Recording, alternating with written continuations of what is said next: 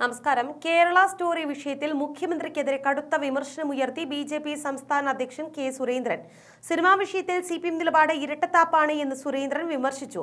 ആവിഷ്കാരത്തിന്റെ അപ്പോസ്തലന്മാരായ മുഖ്യമന്ത്രിയും C P M നേതാക്കളും ഇപ്പോൾ കേരള സ്റ്റോറി പ്രദർശിപ്പിക്കാൻ പാടില്ലെന്നും പറയുന്നത് ഇരട്ടത്താപ്പാണ് എന്നാണ് സുരേന്ദ്രൻ ഫേസ്ബുക്കിൽ കുറിച്ചത്. സി പി എമ്മിന്റെ ആവിഷ്കാര സ്വാതന്ത്ര്യത്തിലെ ഈ ഇരട്ടത്താപ്പിന് കാരണം ഭീകരവാദത്തെ തുറന്നു കാണിക്കുന്നതൊന്നും കേരളത്തിൽ വേണ്ട എന്ന നിലപാടാണ് എന്ന് വ്യക്തം.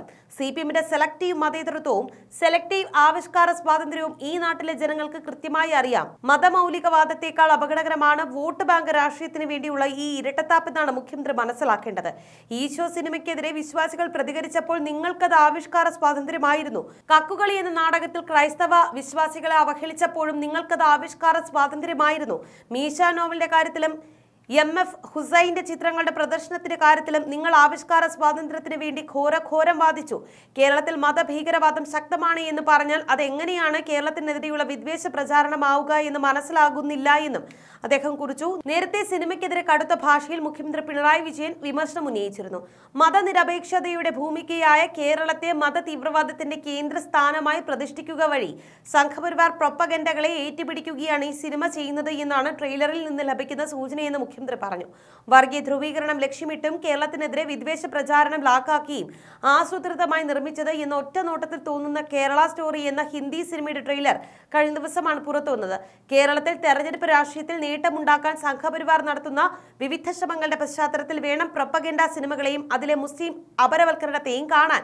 അന്വേഷണ ഏജൻസികളും കോടതിയും കേന്ദ്ര ആഭ്യന്തര മന്ത്രാലയവും വരെ തള്ളിക്കളഞ്ഞ ലവ് ജിഹാദ് ആരോപണങ്ങളെ പ്രമേയമാക്കിയത് ആസൂത്രിത നീക്കത്തിന്റെ ഭാഗമാണ്.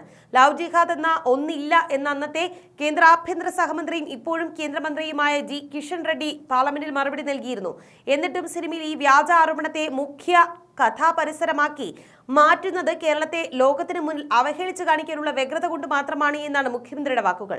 കേരളത്തിലെ മതസൗഹാർദ്ദ അന്തരീക്ഷം തകർക്കാനും വർഗീയതയുടെ വിഷവിത്തുകൾ വിതയ്ക്കാനുമാണ് സംഘപരിവാർ ശ്രമം മറ്റിടങ്ങളിലെ പരിവാര രാഷ്ട്രീയം കേരളത്തിൽ ഫലിക്കുന്നില്ല എന്ന് കണ്ടിട്ടാണ് വ്യാജ കഥകൾ ലൂന്നിയ സിനിമ വഴി വിഭജന രാഷ്ട്രീയം പയറ്റാൻ ശ്രമിക്കുന്നത്. ഒരു വസ്തുതയുടെയും തെളിവിന്റെയും പിൻബലത്തിലല്ല സംഘപരിവാർ ഇത്തരം കെട്ടുകഥകൾ ചമയ്ക്കുന്നത്. കേരളത്തിലെ മുപ്പത്തിരണ്ടായിരം സ്ത്രീകളെ മതം മാറ്റി ഇസ്ലാമിക് സ്റ്റേറ്റിൽ അംഗങ്ങളാക്കിയെന്ന പച്ചക്കള്ളമാണ് സിനിമയുടെ ട്രെയിലറിൽ കാണാൻ സാധിക്കുക.